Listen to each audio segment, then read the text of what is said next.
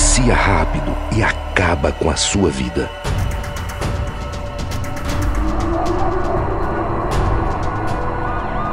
Cuidado, seja mais rápido do que ele. Diga não ao crack. A Assembleia Legislativa está ao seu lado contra as drogas.